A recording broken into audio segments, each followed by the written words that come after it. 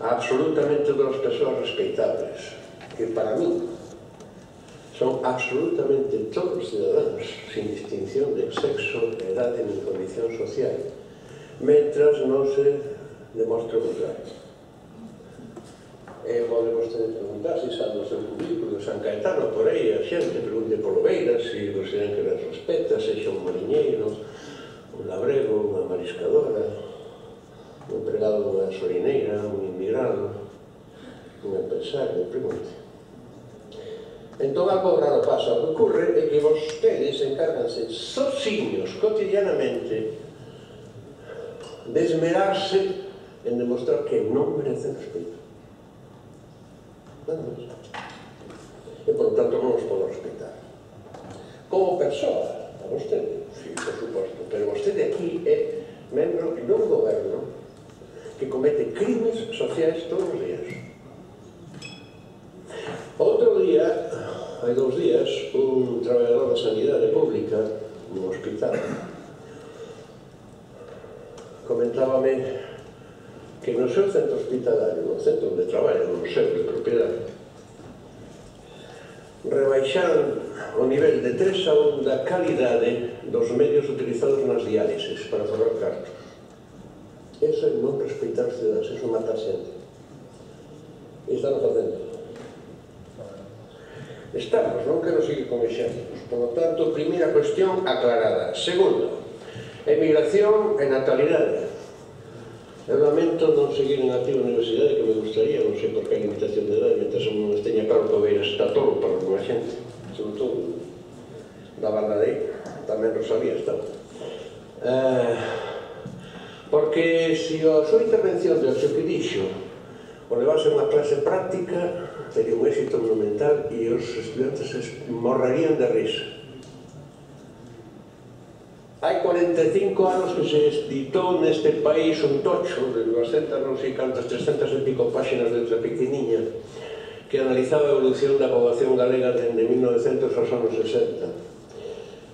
Nese traballo xa se eh, facíamos prospeccións de o impacto retardado dos fluxos migratorios no movimento natural no crecemento vegetativo da poboación galega. E como estaba provocando algo moi sinxelo que é que por unha banda facía descer a tasa de natalidade aínda que non descese de momento a tasa de fecundidade que non é o mesmo.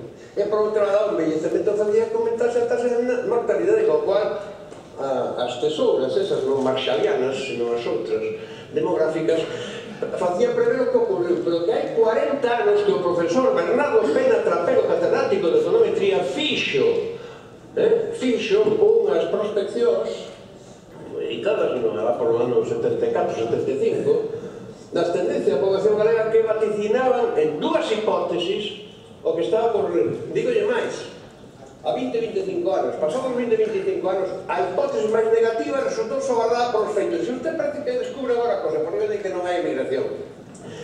As cifras de emigración de poboación nova, porque a bella non emigra, están ao nivel das cifras de emigración neta de poboación nova dos anos 60, cando a poboación galega tiña unha vitalidade demográfica que hoxe carece por completo. Parece mentira que veña vostede a, a facer non semellante recital de ignorancia e cosas elementais que ten que saber un membro do sobre todo que le a facenda pública senón de necedade, no sentido propio da palabra. Ignorar e non coñecer, pero necedade é non coñecer e facer como se se coñecese e dicir disparates. E hai tres, catro lustros que se editou un libro completo da autoría de dúas persoas, unha delas, o profesor Abel López, da poboación galega no século XX, está perfectamente demostrado. Vira aquí a negar que a emigración e insultos aos rapaces e aos mozos. Sabe vostede físicas, por exemplo, galegos de formación, estaban aí poucos anos no CERN de, no CERN de Xinebra. Cantos no ensino universitario eh, eh, el ensino medio en Suiza, en Alemania, en Gran Bretaña. Sabe ou non lo sabe? Pero os que ignora cuestións elementales ou ve aquí a mentir sistemáticamente. É indignante. Claro, o vostede considera que Galiza é un territorio, xa sei. Eh, é un territorio no que hai personas, faltaba máis. Pois como vostedes deixaron de veras, a conseguir convertir Galiza nun deserto, verde e marrón. A parte non queimada, verde, a parte queimada, marrón. Ou naquela viñeta de Xaquín Marín de xa hai tempo, se viu o mapa de Galiza, unha fochanca enorme, unha excavadora, que un esteiro poña. Aquí estivo Galicia. Ese é o resultado das súas políticas absolutamente eso, pois enocidas e de que a población. Terceiro lugar, ah, máis, dixo vostede, hai 24.000 parados menos. Claro, xa nos non de paro. Bueno, pois esa cifra é inferior á suma. Dos xubilados novos, os que xubilaron, e os que migraron. Oh, que iso está, isto non? É como cando digo, a renda per cápita sube, claro, é unha fracción. Eh, a fracción pode aumentar porque aumenta o denominador máis que o numerador máis que o denominador, a renda máis que a poboación, ou simplemente pode aumentar aínda que descenda a renda se a denominador a poboación descende máis aínda. É elemental é aritmética pero parte que vostede non lle ensinado a aritmética ou non pensa porque nunca penso que o enemigo é idiota. É pior que idiota falsarios. O imposto de depósitos bancarios ten unha resposta preciosísima.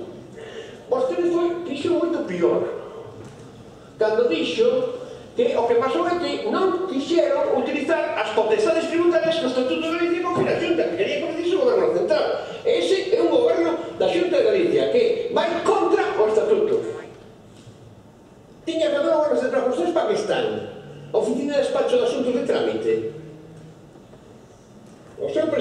dixerlle eh, ao director dunha editorial galega. Antes de ser presidente.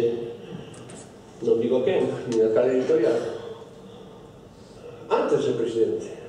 Nunha conversa que tiveron entrevistas esas cousas que quería falar con os notables do país.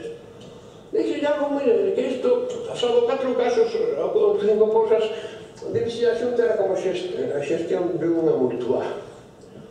Xestión unha mutua, dixe yo, literalmente. Xa se ve. O que pasa é que unha mutua catastrófica, porque arruina.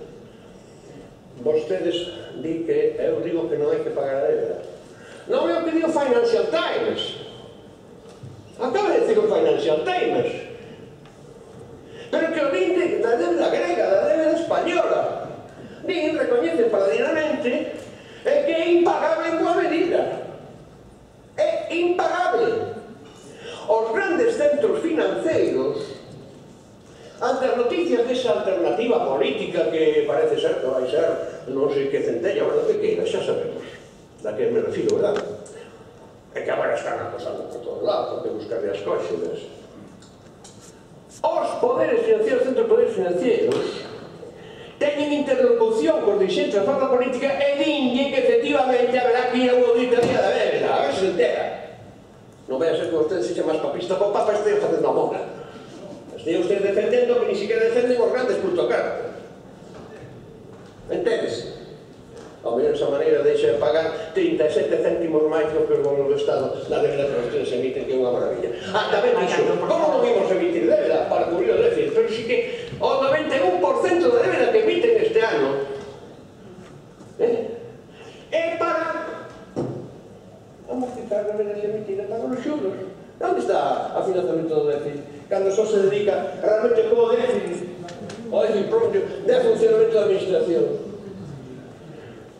papeles que queiran. Vou rematar. Vou rematar. Mire, eso de o mal do fan os demais que a súa a maneira de sempre defenderse é a coartada típica dos malos estudiantes.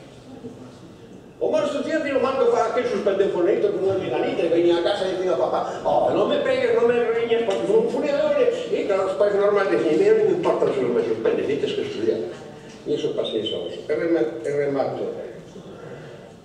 Xa ve que non lle vou entrar nunha riqueza de cifras, porcentaxes e cousas por estilo, porque non son tan parvo. Vostedes eh, son funambulistas e malabaristas consumados. Eu coilo que podían tender un cable dende San Caetano ao Pazo de Oro e vir por el seguro que non caían. Estou por regalarles un xogo de bolos para ver se si son capaces de facer estes malabaristas con cinco ou seis. Remate, por favor. Remato.